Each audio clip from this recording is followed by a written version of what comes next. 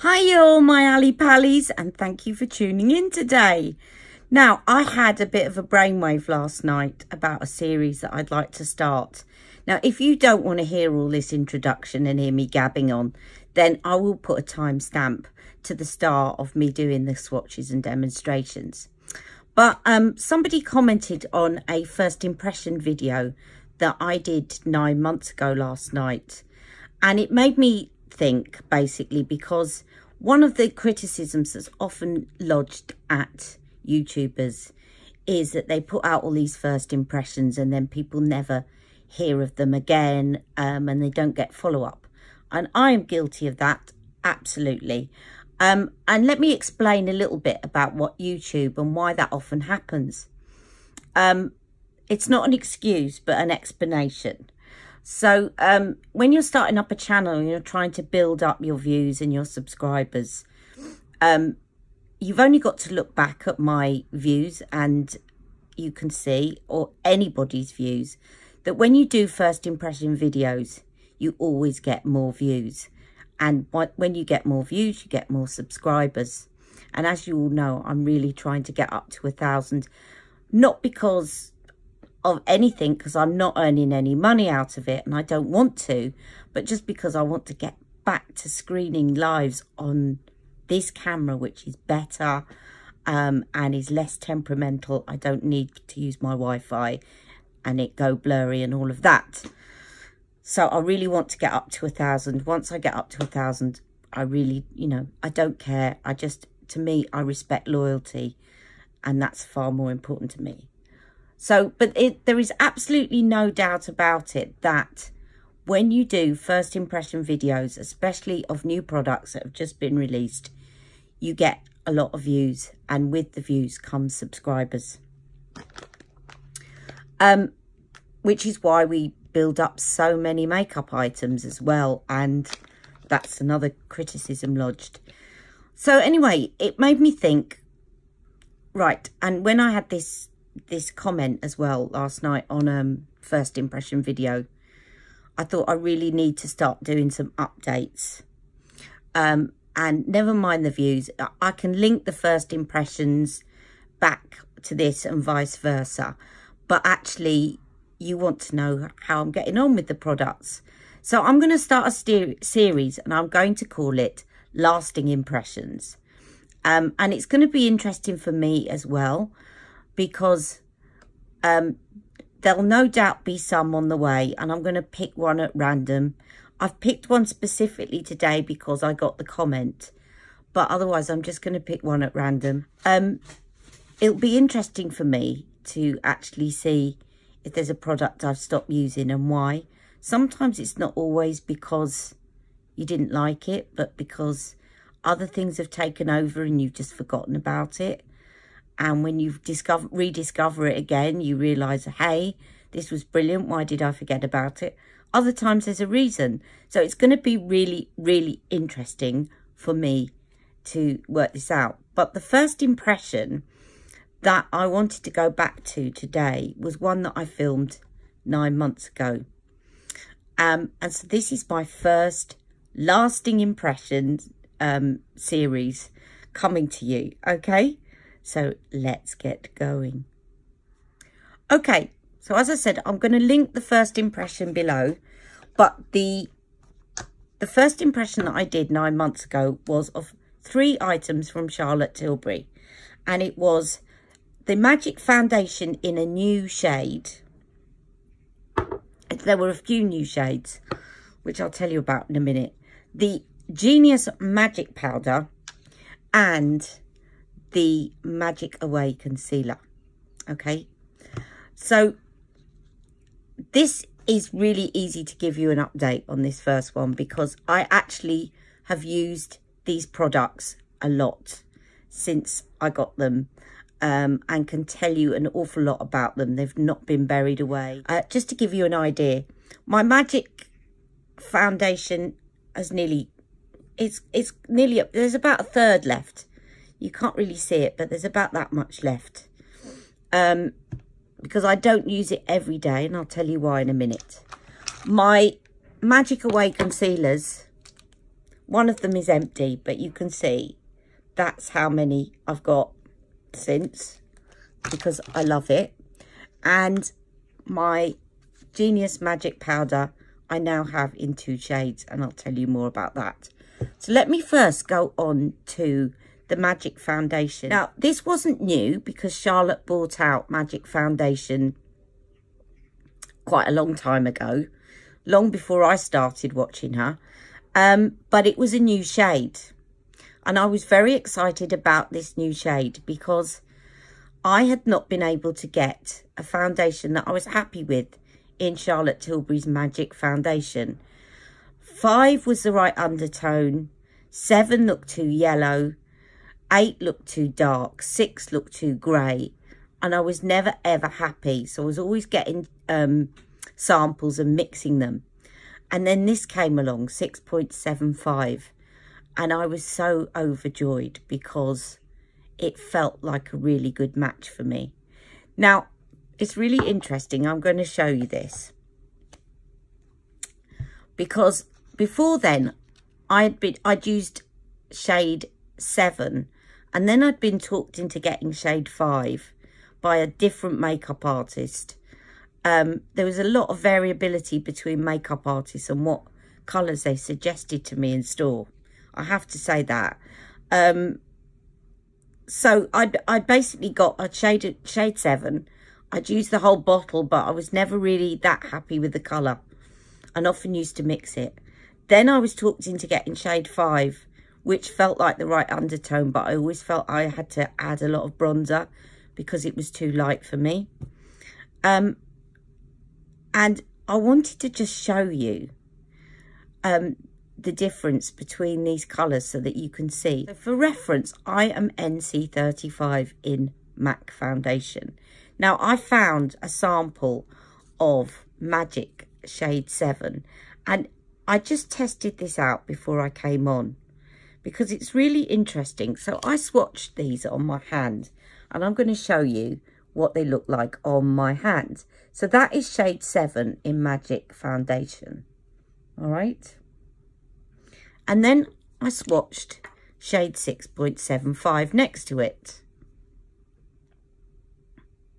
Now shade 5 is a lot lighter. Similar undertone but a lot lighter. So this is shade 6.75 next to it.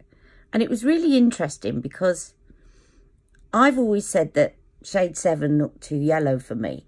And yet when I looked at this swatch, I thought, well, that looks just as yellow, just a little bit paler.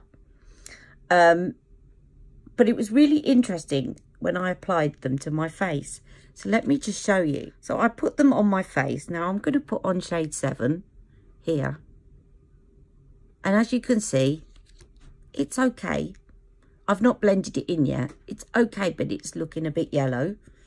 and now I'm going to swatch you shade 6.75 on my face. And as you can see that when you put it on your face, it doesn't look that much lighter. And it certainly doesn't look as yellow as on the hand. Right, um, it just, it looks less yellow, a very similar shade. And I think that's why this one suits me so well. So it's a lesson to all of us that when you're swatching on your hand, try it on your face I know that your hand, everybody knows that your hand's always a different shade. But when you actually put this on your face, you can see more what I'm talking about. Now, you can see that as they start to kind of oxidize on the face, they look almost the same colour except this one's got more yellow in it, which is why I like shade 6.75. Okay. Now, moving on to shades. The only thing I will say about this is, and it's really frustrating, is when you're moving towards summer and you want to start looking at Light Wonder. I'm going to show you in the middle here a couple of things that Charlotte Tilbury, when you go online, use to help you to pick your foundation shade.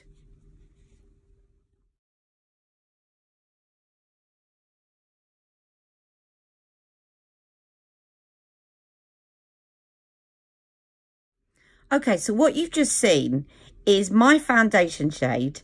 So when I clicked on it and it gives you a little graph of what the equivalent products are in Retoucher, Magic Away, Powder, all the products, all the face products. And then the second image that you will have seen is a chart which has got all the different shades and then the equivalent items next to it. Now I'm just going to show you that chart again and I'm going to outline what I'm talking about.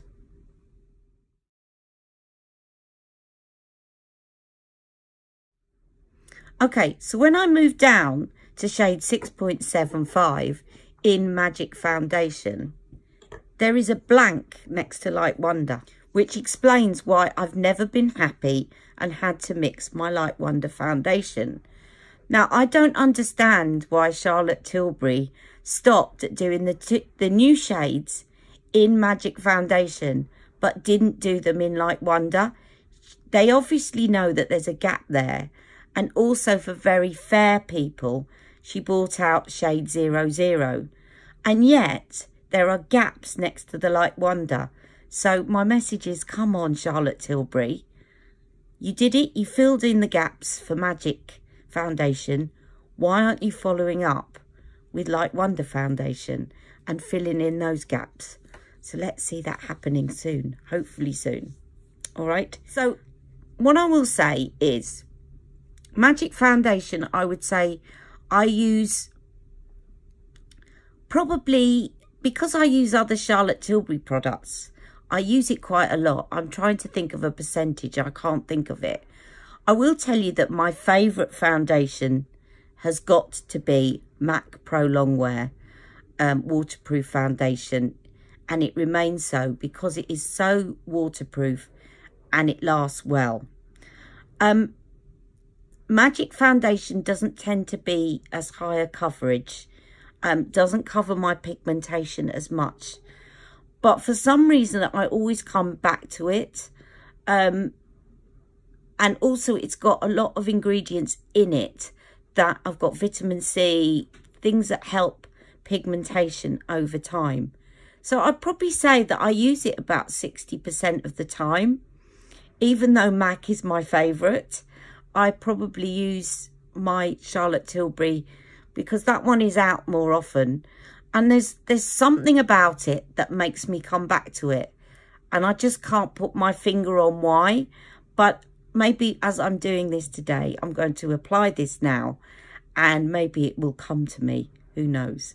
So let me just apply this magic foundation and then afterwards I'll move on to updating you about magic away concealer okay I'm going to apply this magic foundation with my Laura Mercier um, sponge, which although is, I think, a little bit overpriced, I have used it a lot because of the way that it contours in the face shape. And it has been washed, but you know over time they get stained. Um, I just love the way that it, it kind of contours around the face. So I'm going to apply it with that. And I'll put this part on speed dial.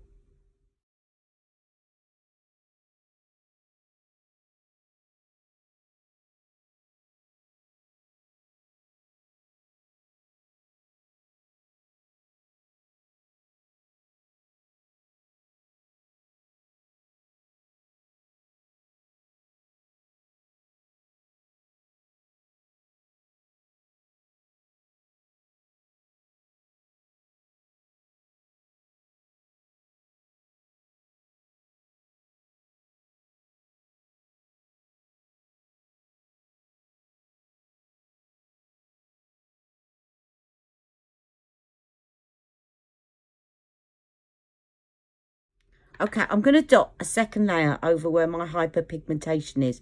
And as I'm applying this, because I had my MAC foundation on um, over the weekend, and it's reminded me, I think one of the, the, the advantages of this, even though it's not as waterproof as MAC, and it doesn't last as long as MAC, I think one of the reasons that I do wear this and come back to it is because I think this is more skin-like and it looks less made up I think with MAC, there's sometimes it looks a little bit too perfect and you look more like you've got makeup on. and the Magic Foundation has got just a little bit, although Charlotte sells this as her matte foundation, as in, she doesn't call it matte, but she says, if you want glow, go for Light Wonder. If you want something more matte, go for Magic Foundation.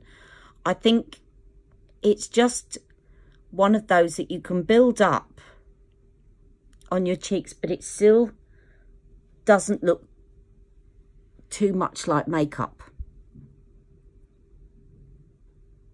And that's, I think, why I use it more often than the one that's my favourite. I think when I reach for my MAC, it's more when I'm going to be out all day. I want my makeup to stay in place, not budge, and look flawless.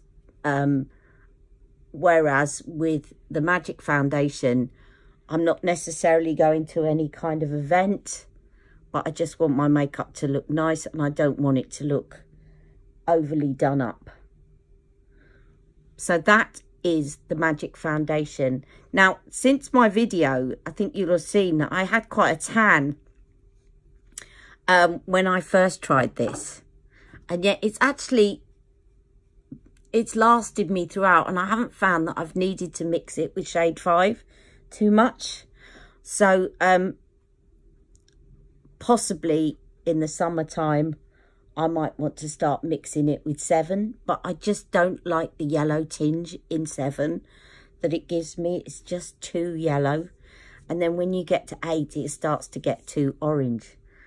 And 6 just looks grey on me. So I haven't tried shade 6.5 um, because that started to look a little bit too light.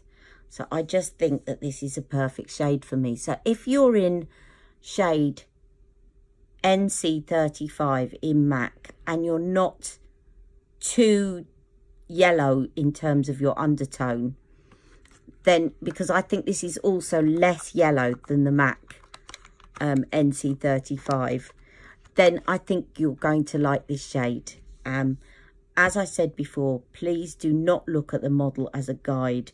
She looked to me to be more of a shade 9 or an 8.5 than a shade 6.75. Um, the model that they use to actually advertise this particular shade, it's just so misleading and it would have put me off because I would have thought that this was too dark. So please don't look at the models as guides. Look at the swatches. Okay, so that is the Magic Foundation. And let's now move on to updating you all about Magic Away Concealer. Okay, so I think this speaks for itself in that I've, since that day, I bought shade, I had shade 6. That was my first impression. Then I bought shade 5. And I then bought shade 7. Because shade 6, as I remember telling you, because I did check the video before I started this, shade 6 was was actually quite brightening under the eyes and it wasn't my skin tone. So in order to go the same shade as my foundation, I felt like you needed to go up one shade. Shade 7 is a perfect match for my skin tone and I'll show you that in a minute. Um, I've also wondered about trying shade 4. I think um, you can now get samples from Charlotte Tilbury which give you what shades 1 to 8 altogether or 1 to 7 I think it is so that you only get a, you get a smaller amount than you used to get when you got these kind of samples but it gives you more shades to try which is the advantage and I think the difference with the Magic Away sticks is, is a lot of the time it's not really about depth of colour. Um, it is about the undertone. So they're definitely something that's worth going and trying or getting the sample card. I'll actually, I'll show you what the sample card looks like and I'll be okay, right so back. this is what the sample card looks like. So you can order shades 1 to 8 or shades 8 to, must be 16 I think. Um, and you get a little bit in each one. And I've been testing out shade 4 as you can see. Um, and when you look at them here, you can see that there really isn't that much difference between some of the shades. It's all about the undertone. So it's definitely something to try when you put in your next order. Okay, so let's get on to the Magic Away. What I like about it, what I don't like about it. You obviously know that I like it because I've used it a lot. Um, I've ordered more and I've used them a lot in my videos. I'm going to tell you the things that I don't like about it and the things that make me often reach for other concealers. Um, now, what the one thing I don't like about is the packaging. It is absolute madness and it's so frustrating. So if you have been applying makeup with your hands or you've been applying sunscreen with your hands, your hands are naturally slippy. And this drives me nuts because once your hand is slippy, you cannot pull the lid off. Even now, I had to really tug on that quite hard to get the lid off and my hands are not slippy anymore. It really puts me off and sometimes I give up and I go for another concealer just because I can't be bothered to try and pull this lid off. The only way that I can get the lid off when I've got slippy hands is to get a couple of pieces of tissue to help me grip on it and then pull it apart. They have to do something about that, even just to make a little bit of rubberized um, something going on the top so that it, you can grip it with your hands. If you've got um, dexterity problems, um, coordination problems, any difficulties with hand strength, do not buy this concealer because it will frustrate you. Uh, it's such a shame because the product itself is really, really good, but the packaging needs to be adjusted to accommodate this. Sorry, I forgot to mention an alternative. So if you do have coordination problems and packaging is very difficult, then what I would suggest as an alternative is Huda Beauty Overachiever Concealer. It is a very, very similar um, consistency um, and it's got similar ingredients in it. They're virtually identical except Huda is actually easier to take the lid off. Also, um, I've said this before, and it's a bit unfair to lodge this at Charlotte because actually she's the only person that has done a good example of this. But Charlotte's brushes are so well shaped in terms of not rolling off the table. She's got they, they've got a beveled edge and I'll show you what I mean. Hold on. So if you look at this blush brush, you can see about the edge here. So basically what that does is it stops it rolling off the table. Now I have got severe problems with my back causing chronic pain. And when things roll off the table and I have to bend down and pick it up it's painful. It's physically painful. And so I love using her brushes for that reason. And I just don't understand why they don't translate them back into products like this because these roll off the table again really really easily. And then you have to be going to pick them up so all, this is more of a request than a complaint because I know every makeup company makes concealers that look like this but Charlotte please adopt your brilliant design for your brushes with your other products that are cylindrical. Right, please do it. And then they will stop rolling off the table. The third thing is, again, about the design. So when you pull this off, as you can see now, this just looks disgusting, right? Um, it's not very hygienic. Um, you get you get concealer collecting in the lid, you get concealer collecting around it, you know, and then you have to go and clean it off and it all becomes a bit of a waste of product. Um, and I just think they need to review the packaging. But moving on to the product, I have to say that I love it. I absolutely love it. Um, I love the texture of Magic Away and I love all sorts of things about it. So let me get on to why. Now, what have I got here? I've got a little bit of my original shade 6 from nine months ago. I, I've got a new shade 6 for when I run out. Um, but as you can see, it's still going.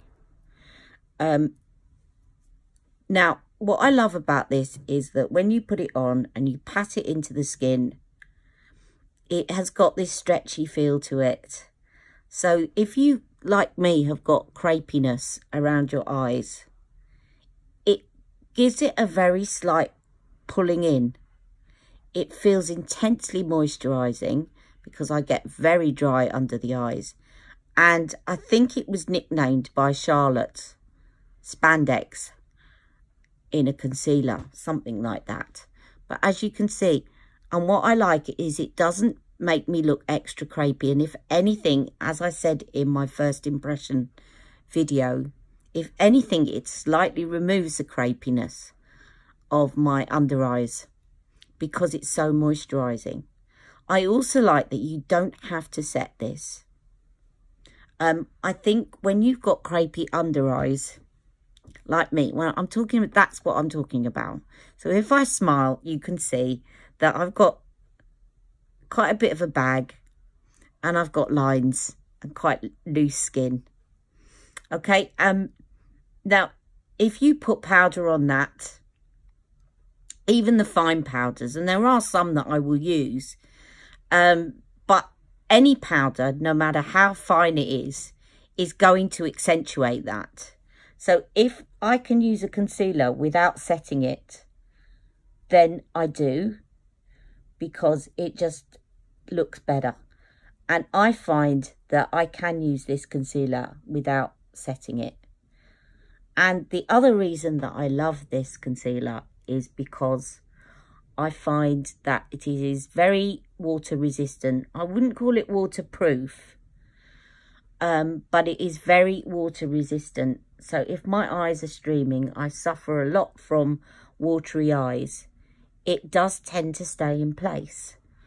Um, and it's also very good for using on the upper lids as a base for your eyeshadow because it's got that slightly sticky texture which helps your makeup adhere to it, to it. It does tend to crease on my lids because I've got very hooded lids. But as long as I kind of smooth it out before I apply powder to it, it's fine. It doesn't doesn't tend to crease under my eyes as much, but on my lids, if I do that for a couple of minutes, you will find it starts to, to crease.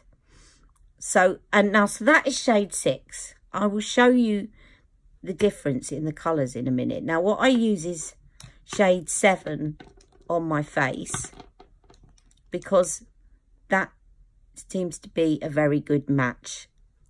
And here we go again, pulling the lid off. Really can't stand it. Right, so if you see that that is a very good match. If anything, they could do a seven and a half and it would be even better. Okay, now you can also do some other things. Now, I haven't tried this before, but I'm going to try it today. Um, as I'm always saying to you, pigment is pigment. And Tamsin, when I went to have my makeup done, was saying these make very good contour ones. Um, and I reckon that they last longer than the contour ones and they're slightly cheaper. So if you got a shade, a couple of shades too dark for you, you could always use these as a contour wand. Now, what I was going to do is use the um, sample in shade 8 and see how well that contours, which I will do. So let me just show you um, the shades first and then I will do that for you and show you what that looks like. So I've got shades 5, 6 and 7. So if you are medium skin toned, this might be useful for you. If it's not useful, please forward through this section and I would definitely suggest getting one of these cards either in shades 1 to 8 or if you're darker in shades 9 to 16. so this is shade 5. So I'm going to swatch these on the lightest part of my arm and show you there. Okay, so let me just do, this is 5. And I think you'll be surprised at some of them, how little difference there is between the shades. I think there's quite a big difference between shades 5 and 6 as I remember. But no, not, not that different actually. And then 6 and 7, I'm just going to put them on my arm so that you can see uh, shade 7 is here.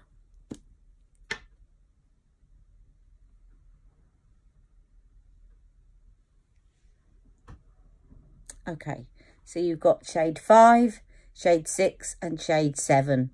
And I'm going to take a photograph of that now and put it in between.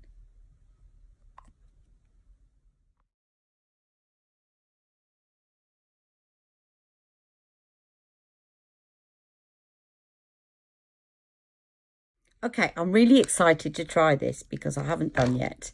So I'm going to just take this sample of shade 8 like this, which actually looks scaringly orange. But I'm going to put that and on with my fingers because there's not that much there. And I'm going to put that on the side with my fingers. And actually, I don't think it's dark enough to do this. But, which is very interesting because that looked really dark for me on the sample. And yet when I put it on my face, it doesn't look that dark at all. In fact, what that would probably be very good at, because it's got a bit more orange in it, is covering up that little scar that I've got on my head. Yes, it is. Look at that. That's perfect for doing that. But it's not it's not dark enough really for me to use as a contour. But I shall nevertheless blend that in Actually, I'll do it with my fingers because I want to use a setting brush for powder in a minute. So it might give me a little bit of a subtle, a subtle contour. Can you see what I mean now? How it's creased on my lids, but it doesn't crease under my eyes. It's very odd.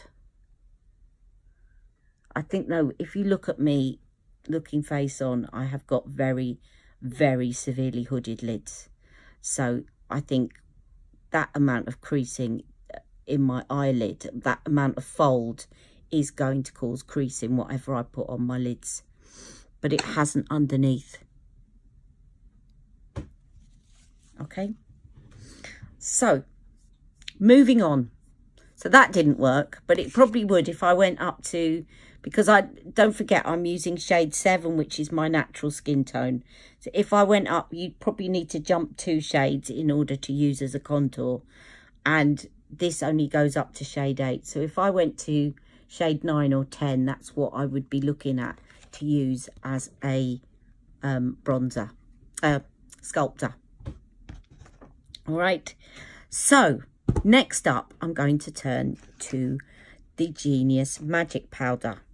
Okay, the infamous Genius Magic Powder that we've all come to know and love as the Smelly Magic Powder. And it was so interesting because I didn't even mention the smell at all on my first impression video. I hadn't noticed it. It was only when I looked at other reviews and I I tend not to look at anybody else's reviews when I'm doing first impressions because I don't want to be influenced by anyone else or end up repeating what they've said inadvertently. Um, but there is no doubt that this does have a smell that is off-putting and somebody likened it to the smell of raw potatoes and I think that was the best description I've heard so far. It has never bothered me but it is quite strong. And it's one of those things, I think smells are very personal. And what some people can't stand, other people don't mind. Um, and smell, it's different types of smell as well. It's not just strength of smell. Certain smells may have a certain association. Um, smell is a very powerful thing. To this day, whenever I go past a freshly painted gloss door, anything with gloss paint, I get a flashback to being in hospital when I was 18 months old. And when I discussed it with my parents, they said that they were doing, they were painting the ward when I was 18 months old and I was in hospital. And I still get a flashback. I get a flashback of going to surgery, going to theatre, green gowns, you name it. And I was 18 months old. So smell is very powerful. So it's not for me to say, it's fine, go ahead, get it. I think the only thing that you can do with this is to go and smell it for yourself and decide whether or not for you, you can put up with that smell or not. What I will say is that once you put it on your skin, the smell disperses. I cannot smell it afterwards. It's when you open the pot that the smell is there. Now, the other thing that's worth noting about this powder, which, by the way, I have used a lot, and you will have seen that in my videos, um, is that um, I've completely lost track of what I'm saying. Just hold on a second. I'll be right back. I'm back. I remembered what I was going to say. So the other thing is worth noting about this powder, which is on the kind of negative side, is that you only get 13 grams of powder, which for £33 is very expensive powder. Now, I will say that, I mean, I've been using it a lot and I've still got loads left. This is my shade 2, which I use there's still plenty left in there. Um, but it is worth noting because if some of you that have been watching me for a while um, saw that I did a comparison with La Prairie powder, which cost £70 to buy, and it ended up being a third of the price of this magic powder per gram of product because you got a lot more for your money. So it's always worth noting the price per gram. This is more expensive, three times more expensive than La Prairie. But, of course, you have to spend £70 to get, get La Prairie. And it depends how often you're going to use it, of course, and if you're going to use it in time. So, um, that's what I say. And La Prairie only do two shades. Um, and they're very translucent, whereas Charlotte does three. Okay. Now, recently you will know that I also bought shade 1. Now, in my first impression, I was saying, when I swatched shade 2, I said, oh, I wouldn't want to go lighter than that. Okay, because when you when you look at it in here, it looks yellow. When you put it on the skin, it looks white. Um, now, I was incorrect in saying that because actually the difference really isn't that much in the depth of colour of these two powders because they're quite translucent and because they got quite a luminosity to them. Once you put them on your skin, the colour doesn't make an awful lot of difference, but the undertone does. So this is shade 1.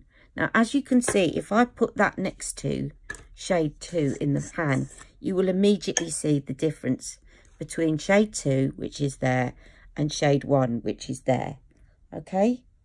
So shade 2 has got a more yellow undertone and shade 1 has got more pink undertone. And the reason I got shade 1 is because it says on the packet and because Charlotte said in a video that shade 1 is better for putting under the eyes. It's more brightening. So just as you might put a, a fairer colour under your eyes or a pinker um, concealer under your eyes to brighten up your under eyes. It's the same principle with powder. And I have even considered getting shade 3, uh, which again doesn't look overly dark, just to put round the periphery of my face to do a very subtle contour. Um, I haven't done that yet, but may do so in the future. Now, the way that I apply this magic sorry, Genius powder, Magic Genius powder, is that what I like to do with it is I'll put it on and I often use it on my entire face. And then afterwards, I spray it with MAC Prep and Prime. It doesn't have to be MAC Prep and Prime. It could be water. It could be any setting spray apart from the fixing sprays, as I call them, which is by Urban Decay and um, Skindinavia. They're more like a spray that fixes makeup to your face. As opposed to setting sprays like MAC, which kind of just take that powdery look away and help all your makeup kind of merge into one. Um, so I often put that on afterwards because it really brings out the luminosity in this powder. So what I'm going to do is I'm going to apply this. Now, as I've been chatting to you, I just want to make sure it hasn't creased, but I just want to make sure that it hasn't settled. Look, if I show you the side I haven't done, you can see that it hasn't creased. It's creased on my lids, yes, but not under my eyes. And I will dot over my eyes again and uncrease that. And then I'm going to go in with a Real Technique setting brush and shade one, tap it off, and then I pat it under my eyes from the outside in. This is when I'm actually using powder to set it. But as I've said, I quite like using this without. So I'm just showing you this today for the sake of showing it. But I think you can see that this looks equally as nice without setting. But if you're worried that your eyes are going to water or you want it to last, then by all means, this is a good powder, even for your under eyes.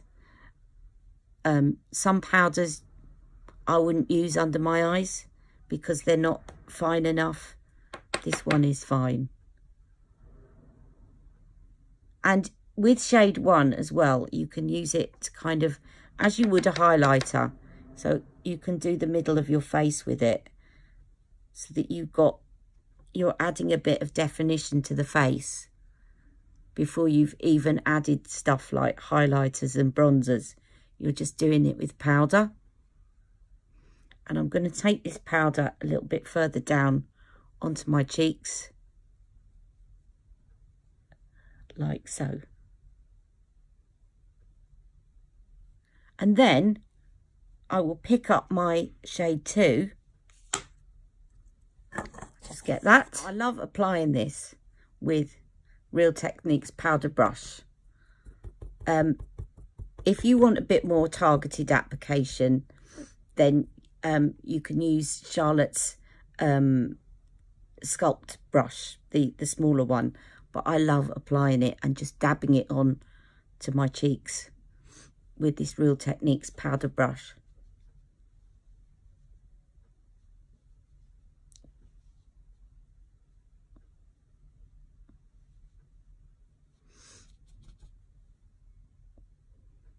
And I just got a whole blob then in my eyes.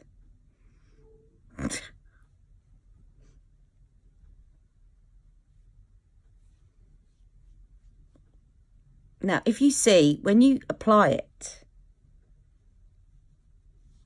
it can take some of that luminosity away. There is a little bit there.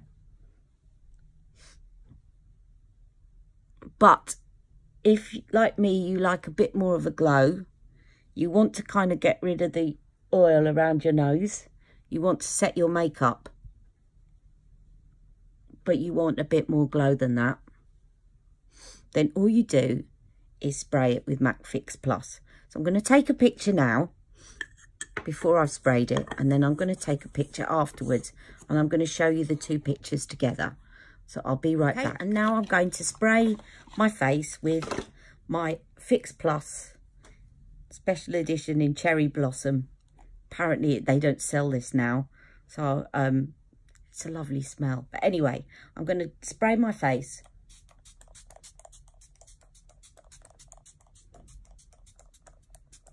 And I'm quite generous with it.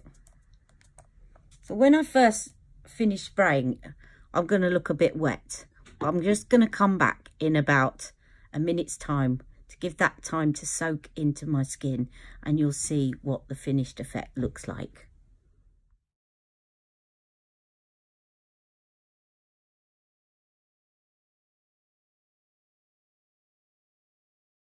Okay, I'm back. Now, hopefully you can see now that it's brought out a beautiful glow in the skin.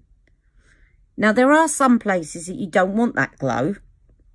And that's when I go back in. I've now set my foundation though and the, the, powder has set the foundation, but it's not looking too powdery. But there are places like round here and up here that I don't want them to glow that much.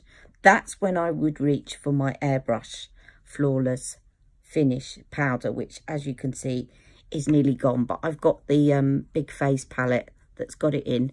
And that's when I go in, because this one is a matte powder.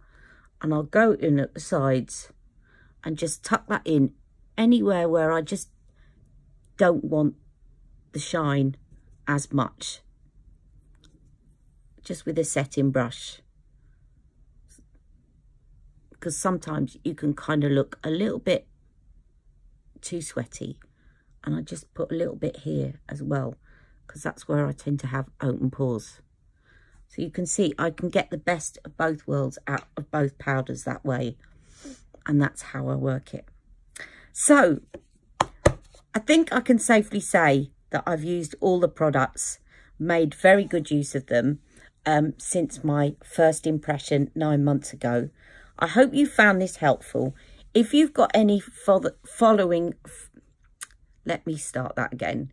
If you've got any follow-up questions to this or my first impression video that I haven't tackled yet, please do leave your questions below. You know I love answering them. Um, I'm going to get on now and finish my makeup. Um, and if there's a particular first impression video that you want me to do, to, to revisit and do a lasting impression video of, then do let me know underneath as well, because I will go with if with one that, that you particularly want me to follow up on. And this will now be a regular weekly slot. Okay, so take care and have a good day. Don't forget to like and subscribe and tell your friends about my channel. And I'll see you all very soon. Bye-bye, Ali Pallies. Love you all.